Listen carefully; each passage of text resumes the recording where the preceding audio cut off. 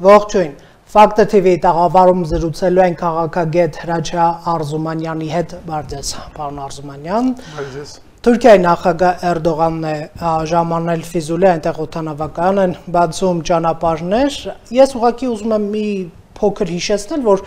նախորդ այցերից մեկում Էրդողանը եւ Ալիևը Շուշիում ընդունեցին այսպես կոչված Շուշիի հրճակագիրը, ինչ էր դա նշանակում մեզ համար ամենակարևոր ռազմական կետերից մեկը ըստ էության մարդիկ պարտավորվեցին պաշտպանել իրար երրորդ կողմի հարձակումից։ Դա կարող է լինել Իրանը, դա կարող ենք մենք լինել իրենց աչքով, հա։ Ես ուզում եմ փորձենք ավելի այսպես իրատեսական դաշտում զրույց վարել, եթե հանուն Արցախի հաջորդ պատերազմը տեղի ունենա, նշանակում է եւ մենք գիտակցում ենք արդյոք, որ արդեն Թուրքիան այլևս իր մասնակցություն ծածկելու առիթներ չի ունենալու, բաց է բաց է հայտարարելու, որ ինքը մասնակից է Ադրբեջանի պաշտպանում, ինչպես արդեն պարտավորվել են, եւ եթե օրինակ 44 օրյա պատերազմում ինչպես ադրբեջանցիներն են հպարտանում Թուրքիայի միջոցով կարողացան չեզոքացնել Ռուսաստանի մասնակցությունը հաջորդ պատերազմում ինչ է սպասում ով է մեր փոխաբերական ասած Թուրքիան հա մեր դաշնակիցը որը կարող է չեզոքացնել նման տանդեմի գործունեությունը համեցեք դու մի քանի հարց տվեցեք բոլորը կարևոր են եւ մի քիչ դժվար է երևի հետևողականներ, բայց եկեք սկսենք իրական իսկ սկզբից, то есть պետք է հասկանալ, որ հա իրոք Շուշիի հրճակագիրը ոնց անվանում են, դա մեծ թուղթ է, մեծ ստորագրություն է, մեծ համաձայնություն է։ Նա Թուրքիան եւ Ադրբեջանը դարձում է ռազմական դաշնակիցներ, այդ առաջինը, բայց պետք է հասկանալ, որ Շուշայում ստորագրված պայմանավորությունը դա քաղաքական դա աշխարհակաղակական բնույթ ունի եւ Թուրքիան եւ Ադրբեջանը փաստորեն համաձայնվել են, որ շարունակվելու են թուրքական ուժի պրոյեկցումը հետո հետագայում տարածաշրջանում ստորագրելով իրանք հայտարարել իրենց շահերի մասին եւ այդ շահերը հաստատ դուրս են գալիս Ադրբեջանի եւ Թուրքիայի տարածքներից։ Այդ առաջինը։ Դրա համար երբ այսօր Էրդողանը գալիս է Ֆիզուլի բացում օտանավակայանը, նա նորից շեշտում է եւ ցույց է տալիս, որ դա շինքը լուծում է ոչ թե միայն թուրք-ադրբեջանական հարաբերությունների խնդիրը, այդտեղ խնդիրներ չի մնացել երկու պետություն մի ժողովուրդ, դա արդեն կարելի ասեց հաղթած կոնցեպտ է, հաղթած գաղափար է Ադրբեջանում եւ Թուրքիայում։ Բայց այդ երկու երկրները դնում են նաեւ իրար առաջ հաջորդ քայլերը, հաջորդ քայլերը, որտեղ իրանք դուրս են գալիս այդ երկու հարաբերությունից եւ դնում են ուրիշ մեծ ավելի խնդիրներ։ Եվ այդտեղ այդ օթանավակայանը ֆիզուլում անշուշտ ունենալու է ուրիշ խնդիրներ, ոչ թե միայն պահպանել այն, ինչ արդեն վերցրել են։ Թուրք-ադրբեջանական հարաբերությունները ոչ թե միայն պաշտպանողական են, բայց ավելի շուտ հարձողական են։ Եվ դրանում են հարձակվելու, այդ պետք է հայկական կողմը լավ հասկանա, որ այն process-ները, որը սկսել է երկրորդ Արցախի պատերազմի շուրջ, դա չի վերջացել, այդ ուղղակի առաջի ֆազան է այն մեծ փոփոխությունները, որը տեղի են ունեցել հարավային Կովկասում եւ շարունակվելու են, բայց ոչ թե միայն հարավային Կովկասում, բայց մեծ մերձավոր արևելքում։ Դրա համար առաջին ես կվերջացնեմ, երբ մենք պետք է հստակ հասկանանք, որ երկրորդ Արցախի պատերազմով process-ները ոչ թե վերջացել են, բայց սկսել են տարածաշրջանային եւ աշխարհակաղակական Հիմա կշարունակենք մեր զրույցը պարոն Արզումանյան։ Հարգելի հեռուստադիտողներ, առաջարկում եմ բաժանորդագրվել Factor TV YouTube-յան եւ Facebook-յան ալիքներին, ինչպես նաեւ հավանել այս տեսանյութը, որ เป զի ավելի շատ մարդ դիտի այն, դա կարեւոր է մեզ համար։ Շնորհակալություն։ Պարոն Արզումանյան, դիրքորոշումները ընդհանրապես Արցախի ապագայի շուրջ ինչպես կային հայ-ադրբեջանական դիրքորոշումները, շարունակում էր մնալ իրարից շատ հեռու եւ որևէ գից հատման չունեցող այս պայի դրությամբ, այն ինչ որ մենք հրաապարակային այսպես դաշտում տեսնում ենք եւ Ռուսաստանը հարատև չի, հա, այստեղ իր խաղապարներով հնարավոր է այնպիսի մի երկրաշարժ տեղի ունենա, որ ռուսներն ձեռոտու լինի հեռանալը թե հարավային Կովկասից, Արցախից, Հայաստանից չգիտեմ, Օսեթիա, Աբխազիա, այսինքն դա տարբերակ է, որ կարող է տեղի ունենալ եւ որն է այն հենման կետը, որը ունի Հայաստանը այս Թուրքիայի եւ Ադրբեջանի արդեն ձևավորված ռազմական դաշինքի դեմ։ Մենք պետք է պատրաստվենք այդ պատերազմին, մենք ով ենք, որ Թուրքիայի դեմ պատերազմ ենք, էլի, պարոն Արզումանյան, եկեք անկեղծ խոսենք, մեր շանսերը որտեղ են, միգուցե կան շանսեր, մենք չենք տեսնում, կան շանսեր։ Նորից մի քանի հաց, նորից նորից կփորձենք սկսենք։ Առաջինը Ռուսաստանի խաղաղապահ ուժերը պետք է ճիշտ օգտագործել խոսքեր, ես միշտ պնդում եմ, որ դա ոչ թե հայկա ռուսական խաղաղապահ ուժերն են, բայց ռուսական ռազմական ներկայացությունն է այդ ուժերը ունեն ուրիշ խնդիրներ նաև եւ այդտեղ խաղաղապահ դերը եւ ֆունկցիաները թե ֆունկցիաներից մեկն է եւ ոչ կարեւոր Ռուսաստանը ունեցավ ռազմական ներկայացություն հարավային Կովկասում խիստ կարևոր տեղ Արցախում եւ հնարավորություն ունի տարածել ռազմական ուժը Ադրբեջանի դեմ, Իրանի դեմ, Հայաստանի դեմ, Ռուսաստանը իր տակտիկական խնդիրներից մեկը աշխարհակաղակական լուծել է ինք ունի ներկայացություն։ Եվ այդ պայմանավորության շուրջ ինքը թույլ տվեց, որ տեղի ունենա երկրորդ Արցախի պատերազմը։ Այդ առաջինը։ Երկրորդը պետք է հասկանալ, որ պատերազմը չի վերջացել։ Ես նորից հետ ընդառնում եմ խոսքերից, որ Արցախի պատերազմը դա եղել է առաջին ֆազան։ Պետք է ճիշտ օգտագործել խոսքերը։ Տեղի ունեցել չկա հիմա չեն տեղի չեն ունենում լայնածավալ ռազմական գործողություններ, բայց պատերազմը շարունակվում է։ Եվ հայկական պետականության կողմից այն սխալ մոտեցումը եւ գնահատականը, որ պետք է գնալ դեպի խաղաղություն, մենք ունենք խաղաղություն, գնում ենք դեպի խաղաղություն, դա իրականությունից կտրված է ցավոք սրտի։ Ոչ մեկը ոչ մի տարածաշրջանում, փոքր տարածաշրջանում հարավային Կովկասում, ոչ մեծ մերձավոր արևելքում չի պատրաստվում խաղաղության։ Դրա համար խոսել խաղաղության մասին նման վիճակում մի քիչ ճիշտ մոտեցում չի։ Եթե ուզում ես ունենալ խաղաղություն, թե ո խաղաղություն դու պետք է պատրաստվես պատերազմին։ Հին ասացված ես ոչ մի նոր բան չեմ ասում։ Բայց պատերազմների պարոն Արզումանյան արդեն փոխվել է, չէ՞ այդ հակառակորդը։ Հատը չփոխվել է, այդտեղ սկսում է մյուս հայկական կողմից սխալը եւ 1-20 տարի, 30 տարի պատրաստում եք պատերազմի դեպի Ադրբեջանը։ Այո։ Բայց իրականության մեջ, որից մենք կտրված էինք, այն որ Թուրքիան Ադրբեջանը միասին մի հատ ճակատով են դուրս գալու պատերազմի եւ Թուրքիան եւ Ադրբեջանը դրա մասին հստակ խոսում էին, բայց մենք չէինք լսում։ Չենք ուզում լսել։ Չենք ուզում լսածնել եւ ապում եք արհեստական ձևավորված իրականության մեջ եւ հասել եք այն արդյունքներին, որը հասել եք։ Արդյոք Հայաստանը հնարավորություն ունի եւ կարող է ունենալ անվտանգության համակարգ, որը կարողանա չզոքացնել Թուրքիային եւ Ադրբեջանի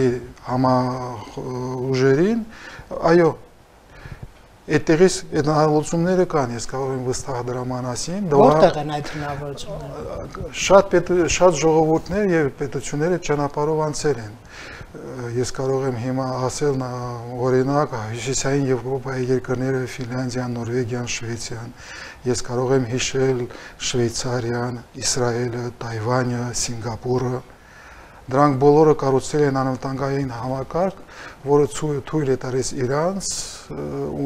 դիմակայել տարածքային կամ աշխարհակաղակական կենտրոնի ներուժին։ Ֆինլանդիան միշտ պատրաստում է սովետական միության դեմ պայքարելու։ Հաջողակին պատրաստում է Շվեյցիա, ամնացած երկրները նույն ձևի։ Ես անգամ չեմ պատկերացնում ինչպեսին պետք է լինի, որ Թուրքիային կարողանանք դիմակայել։ Ես նորից ասում պատմական փորձը, այսօրվա փորձը ցույց է տալիս, որ դա հնարավոր է լուծել։ Ես որպես մասնագետ, որը զբաղվում է ռազմական եւ անվտանգության կոնցեպտներով, կարող եմ ասել վստահ, որ Հայաստանը, հայ ժողովուրդը հնարավորություն ունի կառուցել նման անվտանգության համակարգ բայց ուղղակի այդ համակարգ կառուցելու ժամանակ դու պետք է ավելի լայն այնպես process-ների, եթե նման համակարգի կառուցումը դա ոչ թե միայն հայկական պետականության խնդիրն է, բայց ողջ հայության եւ ողջ հայկական հասարակության։ Երևի մյուս անգամ ինչ որ ժամանակ մենք կարող ենք դրա մասին ավելի երկար խոսալ, որովհետեւ 2-3 րոպեում դա բացատրել դժվար կլինի։ Ուղղակի այսօր ես կարող եմ համոզված ասեմ, որ նման համակարգ հայ ժողովուրդը կարող է կառուցել։ Այդ լուսելի խնդիր է։ Դուք ասացիք հայ ժողովուրդը, իսկ դաշնակիցներ են, չէ՞, պետք Իսրայելի մասին երբ խոսում ենք, պետք է հիշենք նրա դաշնակից Միացյալ Նահանգների գործոնը, երբ որ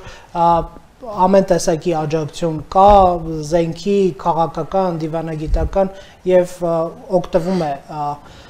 Իսրայելը դրանից, հա, իսկ մենք ունենք նման կենտրոն, որը պատրաստ է այդ ֆունկցիաները վերցնել մեզ վրա։ Լավ, մենք միշտ համարել ենք այս տարիների ընթացքում տասնամյակներ, միգուցե 100-ամյակներ, վերջին 300 տարվա մեր ռեգիոնի պատմությունը նայենք, որ ինչ որ մի կենտրոն գալու է գրավի Արևմտյան Հայաստանը տա մեզ, Ատրպատականը գրավի տա մեզ, Իսրայել օրին հիշենք, Շահամիրյանների փորձը հիշենք, այսինքն միշտ այդ երրորդ ուժի փնտրտուքը եղել է, բայց չգտնվեց այդպես էլ այդ երրորդ ուժը։ Որոնք են այդ հնարավորությունները, պարոն Արզումանյան, հիմա Ես կհիշեցնեմ խոսքերը, որը ասել է Իսրայելի վարչապետը Բենետ առաջի հանդիպումը Բայդենի հետ։ Եթե լսեք հնարավորություն ունենաք լսեք, ինքը այնտեղ մի հաջողես միտքն է տալիս, որ Իսրայելը իր անվտանգության համակարգը կառուցում է եւ հիմնում է միայն իսրայելական ժողովրդի վրա եւ պետության վրա։ Դες մենք հոխեն թեր չենք, որ մեր անվտանգությունը տանք ուրիշների ձեռք մոտավորապես այս խոսքերն է ասում։ Մեզ մոտ հակառակն է։ Մենք հոխենք չենք, մենք պահենք։ Ես նորից եմ ասում, այս Իսրայելը իր համակարգը կառուցում է նրանի վրա, որ դու պիտի հենվես միայն քո վրա։ Եվ այստեղ հայկական մտքի եւ պետականության սխալներից մյուս ուրիշ սխալներից մեկը այն է, որ մեր անվտանգության համակարգը հիմնել է ելնելով նրանից, որ պիտի ունենանք հզոր աշխարհակահաղական կենտրոն, որը պիտի լինի գարանտ մեր անվտանգության։ Երբ դու կառուցում ես քո անվտանգության համակարգը, դու առաջինը պիտի հիմնես միայն ու միայն քեզ վրա քո հնարավորությունների վրա։ Երբ կառուցես այդ վտանգ Երբեք էլ չեն ասել էլի, որ մենք գալու ենք Ղարաբաղում կռվենք։ Մենք ինչու ենք այդ երկրորդական հարցն է, ես ավելի սկզբունքային եմ ասում, դու կառուցելով քոնո Իսկ սկզբանե պիտի ունենաս այն մոտեցումը, որ այդ համակարգը պիտի հիմնես միայն քո ժողովրդի ներուժի վրա։ Երբ կառուցես նման համակարգը, իհարկե դու պիտի գտնես եւ կփնտրես եւ կգտնես դաշնակիցներ որը կօգնեն քեզ լուծելու ուրիշ խնդիրներ եւ այլ բայց ի սկզբանե քո անվտանգությունը մանավանդ Հայաստանի համար, հայ ժողովրդի համար հիշելով ինչ տարածաշրջանում եք մենք ապրում, դու պետք է հիմնես միայն միայն քո ուժերի վրա։ Եվ ես վստահացնում եմ հայության ուժերը բավարար են այդ խնդիրը լուծելու համար։ Իսկ ովքեր են այդ Բայց սկզբանե պետք է կողքերիդ նայես հիմնվի քո ժողովրդի վրա, քո հասարակության վրա եւ կառուցի քո անվտանգությունը քո սեփական ձեռքերով երբ կառուցես, այդ կառուցման ժամանակ Երևան դաշնակիցները որ քեզ կօգնեն այս տարածաշրջանում, մյուս տարածաշրջանում երևնեմ եւ այլ եւ այլ։ Երկրորդական խնդիրը, որովհետեւ Իսրայելի դաշնակիցը սկզբում եղել է սովետական միությունը, հետո դարձել է Միացյալ Նահանգները եւ այլ եւ այլ։ Դաշնակիցները կարող են փոխվել, դաշնակիցները կարող են փոխվել, երբ փոխում են քո նպատակները։ Բայց եթե դու ունես պատմական վախեր, որ Չէ, միայն սա է եւ վերջ։ Պատմական վախերը դա շատ մեծ իներցիա ունեն, դրա համար պետք է հաղթարել այդ այդ վախերը, նայել իրականության շուրջ եւ նորից եմ ասում, հայ ժողովուրդը որպես ժողովուրդ, հայությունը որպես գլոբալ երևույթ կարող է կառուցել մի անվտանգային համակարգ, որը կարողանա ապահովի հայ ժողովրդի եւ Հայաստանի անվտանգությունը, ելնելով եւ հիմնելով իր սեփական ուժերի վրա։ Հիմա վերադառնալով Թուրքիային, հա, Էրդողանը հայտարարում է, որ Զանգեզուրի միջանցք կոչվածը, պարոն Արզումանյան, մնում է դեռ Թուրքիայի տեսադաշտում, այսինքն նախքին պես վճռական են տրամադրված, բայց մենք պետք է փաստենք, որ այդ խաղը միջանցքային հեշտ չի ընթանում ամենևին, հաշվի առնելով Իրանի բացեբաց ընդդիմանալը մենք երբեմն մեզ անտեսում ենք, բայց Հայաստանի Հանրապետության դիրքորոշումը, որ միջանցքային տրամադրությամբ հարցեր չեն քննարկելու եւ փաստորեն ԱԳՆ-ն էլ հայտարարեց հերքեց ավեշուտ, որ Ալիև Փաշինյան հանդիպում է լինելու այդ տարածված լուրերը առաջիկայում, ասած կան մի քանի առաջարկներ դեռ պետք է քննարկել։ Հիմա ինչքանով է հավանական, պարոն Արզումանյան, որ մենք ինչ որ հերթական անակնկալ ունենանք տհաճանակնկալը, ինչ գործոններ կան, դե Միչանսկի մասն եմ հա խոսում, որոնք բերում են դրան կամ հերվածնում են դրան պետք է հասկանալ որ Միջանսկը այդ այն պատերազմի, որի մասին խոսում ենք, этаպներից մեկն է։ Այն պատերազմը, որը չի վերջացել։ Եթե հիշեք Կլաուզիցի խոսքերը, ինքը ոնց է ձևավորում սահմանում պատերազմի սահմանումներից մեկը, պատերազմը դա նշանակում է ստիպել ունենալ կամք, ստիպել թշնամուն կատարել քո կամքը։ Թուրքիան հրճակել է իր կամքը Ադրբեջանի հետ, որ ուզում է տարածքը միջանցքը բացի։ Եվ այդ պատերազմը, որի շուրջ Հայաստանը պետք է դիմակայի։ Դիմակայելու համար ինքը ունի եւ հնարավորություններ եւ դաշնակիցներ բայց Հայաստանը, հայկական պետությունը դիմակայելու է թե չէ, այդ արդեն ուրիշ հարց է, որովհետև առաջինը պետք է ունենաս կամք դիմակայելու։ Եթե չունես կամք, եթե դու նահանջում ես, եթե դու հանձնում ես քո դիրքերդ, քո հնարավորությունները ոչ մի դաշնակից չեք օգնի։ Դրա համար հայո Հայաստանը հնարավորություն ունի եւ պիտի դեմակայի, բայց նորից են կրկնում, այստեղ գալիս է իշխող վերնախավի կամքի հարցը։ Արդյոք իրանք պատրաստ են դիմակայել, թե նահանջում են, թե հանձնում են, որ հանձնել է Խարվաճարը եւ մնացած տարածքները առանց որևէ պատերազմի մի ստորագրության։ Նույն ստորագրությամբ կարելի է Սյունիքը հանձնել իհարկե։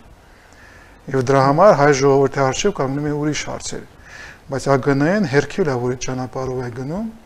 բայց նորից եմ շեշտում, ի վերջո դա կամքի հարց է, պետության կամքի, իշխող վերնախավի կամքը, ժողովրդի կամքը։ Արդյոք հայ ժողովուրդը պատրաստ է Սյունիքը հանձնել, թե չէ մենք կանգնած այդ հարցերի շուրջ եւ ես բավականին երկար ժամանակ առաջ խոսել եմ նամասին, որ 21 դարի սարդարապատը լինելու է հայ ժողովրդի համար Սյունիքում։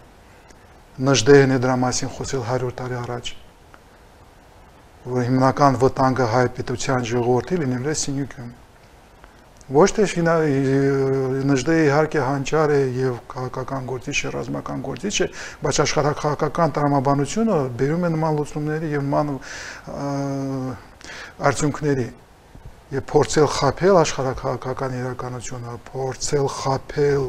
քաղաքական process-ները, մանիպուլյացնել այդ խաղերի մեջ, դա կունենա շատ կարճ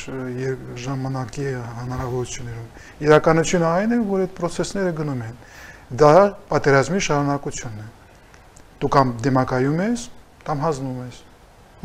Ա որպեսզի չհանձնվի Հայաստանի Հանրապետությունը, հետաքրքիր է ինչ պարտավարությամբ միգուցե ավելի խոշոր ռազմավարությամբ պետք է գնա, հա, խաղալով աշխարհակաղակական կենտրոնի կենտրոնների հակասությունների կամ շահերի համընկման վրա մենք ունենք այդ հաշվարկները, հա, ով ինչ շահ ունի, Միացյալ Նահանգները այստեղ ինչ շահ ունի, Ռուսաստանը ինչ շահ ունի, Թուրքիան որ հավակնում է համաշխարհային տերության համբավ ձեռ բերել, նրանք ինչ շահեր ունեն,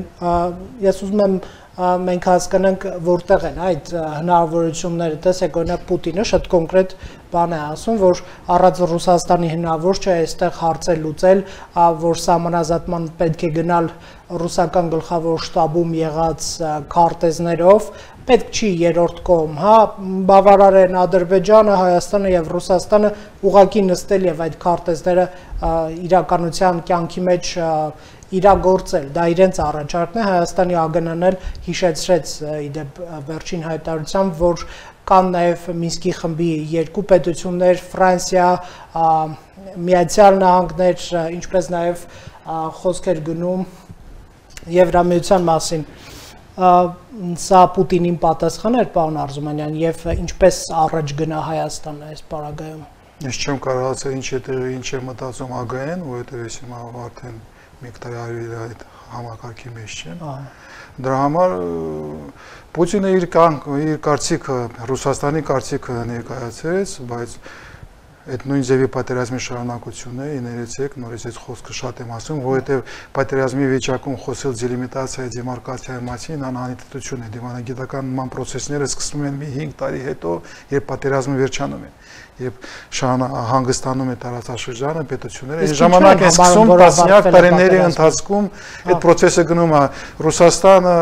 Ճապոնիայի հետ երկրորդ համաշխարհային պետարիզմից հետո այդ process-ը դեռ չի վերջացրել ասենք Դրա համար երբ քեզ պարտադրում են ընդունել քարտեզներ, պարտադրում են ընդունել ինչ որ սահմաններ, դա պարտադրում է դա Ռուսաստանը փորձում է իր կամքը կապել հայկական պետության վրա Իսկ նորից եմ հետ դառնում Կլաուզիսի խոսքերը, դա պատերազմի շարունակությունն է, պատերազմի սահմանումն է։ Այստեղ խաղաղություն չկա։ Արդյոք Հայաստանի կողմը, հայկական պետականությունը, հայկական իշխող վերնախավը կընդունի նման մոտեցումը կադապտացվի, կնահանջի այս ճնշման տակ, բավականին դժվար է ասել, որովհետև կա նաև հասարակության ճնշումը ներքևից։ Հայ ժողովուրդը հայկական հասարակության մեջ բոլորը չեն համաձայն հանձնել Սյունիքը։ Եվ չէ։ Դրա համար դառնում է բավականին բարդ խաղ, բարդ կենտրոններին ազդեցություն, Եվ ով կշահի այստեղ ցավոք սրտի պետք է ասել, որ մեծ դեր է խաղում Հայաստանում առաջի դեմքի վարչապետի դիրքորոշումը, որովհետև ճակետներում Սերժ Սարգսյանի ժառանգությունը, որ մենք ստացել ենք համանadrական դաշտ է, համանական դաշտում քաղաքական եւ բոլոր հիմնական որոշումները դրված են կենտրոնացված են մի անձի ձեռքում վարչապետի եւ դրա համար ինչ մոտեցում, ինչ լուծում կտա Հայաստանի Հանրապետության վարչապետը եւ ռազմական վերնախամը իհարկե կլինի ոչ որոշիչ, բայց ծանրակշիռ այս կաննակշիռ ազդեցություններից մեկը։ Սամանազատում անել արդյոք պարոն Արզումանյան նշանակում է, որ կարճ ձևակերպեմ այլ առանց այլևալությունների Հայաստանը հրաժարվում է Արցախից ճանաչելով Ադրբեջանի տարածքային ամբողջականությունը նրա սահմանները Ես չեմ կարող ասել, որովհետև ես չեմ լսել իշխող վերնախավի կողմից, քաղաքական վերնախավի կողմից, որներն են կանց կարմիր գծերը Արցախի հարցում։ Իրանք չեն խոսում դրա մասին։ Ինձ համար, որպես քաղաքացի, ինձ համար հասկանալի է, որ Արցախը դա կարմիր գիծ է։ Հայաստանի հասարակության հայ ժողովրդի համար մեծ մեծամասնության երևի պետք է կարողանամ ես ասել, համար դա կարմիր գիծ է, որ մենք իրավունք չունենք կորցնել Արցախը, բայց արդյոք այսօրվա հայկական Հայաստանի իշխանությունները մտածում են նույն ձևի, ես չեմ կարող ասել։ Արդյոք իրանք մտածում են, որ Հայաստանի Հանրապետությունը կարող է շարունակի գոյատևել առանց Արցախի։ Առանց Արցախի հայության այդ հարցերը ինչ չի պիտի տակ, պիտի հարցերը տակ իշխող վերնախավին իրանք չեն խոսում դրա մասին եւ դրա համար մենք հնարավորություն ունենք եւ իրավունք ունենք մտածել բացասականը, որ իրանք պատրաստվում են դրան։ Եվ պիտի իշխանությունը համոզի հասարակության, որ ոչ ոնց ոնց ագային խոսեց, որ ինչ որ ստորագրությունները Մոսկվայում չեն սպասվում, Հայաստանի Հանրապետության վարչապետը մնացած իշխող վերնախավի մեր գերագույն քաղաքական գործիչները պիտի վստահ եւ հստակ ասեն հասարակության, որ չէ, մեր կարմիր գծերը ստրանք է, մենք դրանք չեն գնալու, բայց եթե դու անցկացնում սահմանազատում եւ Արցախը մնում է Հայաստան Ադրբեջանի ներքո, դու հետեւաբար օբյեկտիվորեն հրաժարվում ես այդ process-ը վերջացնում ես, դու փաստորեն համաձայնում ես նրա հետ, որ Արցախը մնում է Ադրբեջանի տարածքում Եվ ցավոք սրտի 30 տարվա ընթացքում ոչ մի Հայաստանի Հանրապետության գերագույն քաղաքականության ղեկավար հստակ չի ասել, որ Արցախը դա Հայաստան է։ Նիկոլ Փաշինյանը փորձեց դա ասել, բայց պարզվեց, որ իրան խոսքերը չեն համապատասխանում իրականությանը։ Ինք ուրիշ ձև է մտածել։ Խոսքերը տարանջատվել են իրականությունից։ Այսինքն մենք կոնցեպտուալ խնդիր ունենք, պարոն Արզումանյան, այսինքն ձևակերպել նպատակը եւ դրան հասնելու ճանապարհները, գործիքները, ռեսուրսները հաշվարկել որպես պետություն նկատի ունեն միայն իշխանության կոնցեպտուալ է, որովհետեւ երբ Հայաստանը դառնում էր անկախ, վերականգնում էր իր անկախությունը սովետական Հայաստանի ստատուսից, մենք ընդունել հրճակագիր, անվտ եւ հրճակագրում հաստատ ասացել, որ միացումը տեղի է ունեցել։ Անկախության հրճակագիրը։ Անկախության հրճակագիրը։ Բայց հետո Հայաստանի Հանրապետության սահմանադրական դաշտը ձևավորվել է առանց Արցախի։ Ոնց է դա տեղի ունեցել եւ ինչու է դա տեղի ունեցել, իմ կարծիքով պատասխանները պիտի գտնենք հայկական տրիբունալի ձևաչափում։ То есть մենք հնարավորություն չունենք այդ հասկին արդեն պատասխան տալ որպես քաղաքական գործիչ, որպես պետական, բայց պիտի փորձենք պատասխանները գտնենք սահմանական, դատական համակարգի եւ տրամաբանության մեջ։ Պիտի քննություն տեղի ունենա, քննում այդ անձնավորությունները շատերը դեռ ողջ են եւ հարցնենք ո՞նց է դա ստացվել։ Ո՞նց է ստացվել եւ որ Արցախը փոկվել է Հայաստանից։ ով է ընդունել որոշումը, ո՞նց են այդ ընդունել որոշումները։ Եվ դա պետք է ոչ թե քաղաքական վերլուծություն կամ գնահատական, ոչ թե պատմական, բայց դատական, որտեղ դատականը նեյտրալ է, օբյեկտիվորեն ինքը կտրվում է քաղաքական process-ներից, իրականությունից եւ փորձում է նայել process-ներին չեզոքացված մենք է կազմակերպենք չեզոքացված պրոցեդուրա, որի շուրջ հայ ժողովուրդը կհասկանա ոնց է դա տեղի ունեցել։ Ինչ է տեղի ունեցել 88-89 թվականին։ Ովքեր կլինեն այդ բաղադրալները։ Այդ մյուս հարցն է, բայց հիմա պետք է ուղղակի իմ կարծիքով գալ այն կոնսենսուսի, որ նման հարցը մենք պիտի դնենք դատական համակարգի ներքո որտեղ մնացած համակարգերը չունես եւ չես կարող պատկանես օբյեկտիվությունը Եթե փորձես քաղաքական գնահատական տալ, չես կարա տալ, դժվար կլինի կլինեն տարբեր մոտեցումներ եւ այլ եւ այլ։ Հասարակական նույն ձևի, հոգեբանական նույն ձևի, մշակութային մյուս ձևի։ Դրա համար կարծիքով ես եկել եմ եզրակացության, որ դատականը դամաճիշտն է։ Որովհետեւ դալիս է ինչ-որ չեզոքություն։ Դալիս է պրոցեդուրա, այդ պրոցեդուրայի շուրջ բոլորին լսում ես եւ հետո տալիս ես գնահատական արդյոք ինչ է տեղի ունեցել վերջում պարոն Արզումանյան պատերազմի ժամանակ Միացյալ Նահանգները Եվրամիությունը այսպես կարելի ասել դուրս մղվեցին այս տարածաշրջանից եւ նոյեմբերի 9-ի փաստաթուղթը հայտարարությունը եւ դրա վառ օրինակներ, հա, այսինքն post factum իմացան ինչ է տեղի ունեցել 3+3 նախաձեռնությունը արդյոք այն շիրմակարն է, որ փորձ է արվում դնել այս տարածաշրջանի վրա ազդեցության գոտի սահմանել կոնկրետ ուժերի, կենտրոնների եւ այդ պարագայում Հայաստանը արդյոք չկա ռիսկ, որ կզրկվի ելքերից հնարավորություններից դուք եք ասում անվտանգային ճարտապետություն պետք է կառուցել նաև այլ ընտրանքներ որոնելով հնարավոր դաշնակիցներ գտնելով Միացյալ Նահանգներին մեղադրեց Զախարովան, որ փորձում են խանգարել 3+3-ին իդեպ Factor TV-ին Ամերիկայի Միացյալ Նահանգների պետ դեպարտամենտից հարցում էր արել եւ մենք ստացանք պատասխան, որ ԱՄՆ խրախուսում է հարավային Կովկասի երկրներին վեճերը միասին լուծել եւ որթեւ արտաքին դերակատարները կարող են արդյունավետ դեր խաղալ նման ջանքերին աջակցելու հարցում նրանք չպետք է փորձեն իրենց օրակարգը պարտադրել տարածաշրջանին որտեղ է Հայաստանը էլի այս process-ում բան արծում է հիշենք որ հա նոյեմբերի պատերազմից հետո մեզ պարտադրել են լուծումներ, որտեղ չկան ուրիշ աշխարհակաղակական եւ տարածաշրջանային կենտրոններ, Ռուսաստանը եւ Թուրքիան հայտարարել են, որ խնդրեմը լուծված է։ Բայց հետո մենք տեսել ենք, որ խնդրեմը լուծված չէ եւ նույն Ռուսաստանի նախագահ մի քանի ամիս առաջ համազոյ ստիպված էլ համազոյել եւ կրկնել ասել, որ Արցախի հանրապետ Արցախի խնդրեմը կլուծվի եւ շարունակվի լուծվել Մինսկի խմբի եւ ներքո։ Դա նշանակում է արդեն, որ Ռուսաստանը եւ Թուրքիան չի կարողացան տալ այն լուծումները, որոնք ուզում էին նոյեմբերում ձևավորեն։ Դա նշանակում է, որ դու որպես պետություն, որպես ժողովուրդ հնարավորություն ունես դիմակայել, դու ունես դաշնակիցներ այս հարցում եւ դու կարող ես խաղալ քո խաղը, դու կարող ես չընդունել այդ 3+3 ձևաչափը, այդ ձևաչափը նոր չի, եթե հիշենք Սիրիայում նույն ձևաչափը Կազանյան process-ը սկսել Թուրքիան, Ռուսաստանը եւ Իրանը, երբ փորձել են Սիրիայի խնդրեմը ձևավորել Աստանայի process-ը, Աստանայի process-ը, ներեցեք ոչ թե Կազանայի, Աստանայի process-ը։ Այդ то есть ինչ իրանք ուզում են հիմա անել, դա նորություն չի, դա այդ մոտեցումը, որը իրանք փորձել են մերձավոր արևելքում իրականացնել, բայց ի վերջո չստացվեց, որովհետեւ ի վերջո Ռուսաստանը եւ Թուրքիան